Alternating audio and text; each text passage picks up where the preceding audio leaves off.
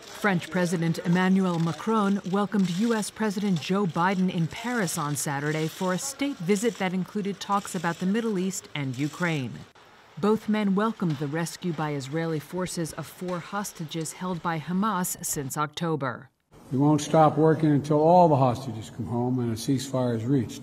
À Gaza, nous voulons obtenir Macron told reporters the two countries will work harder to prevent a regional escalation of Israel's war with Hamas.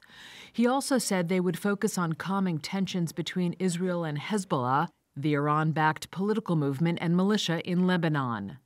Macron and Biden are also aligned in their country's support for Ukraine and opposition to Russian President Vladimir Putin.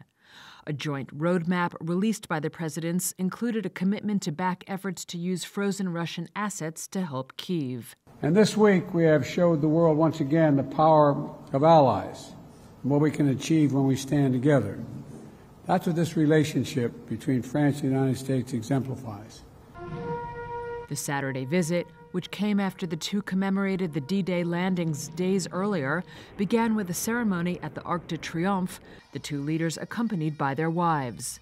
The day concluded with a dinner at the French presidential palace, where celebrities including Pharrell Williams and John McEnroe joined political and business leaders, and the two presidents toasted what they described as shared values and friendship between their nations.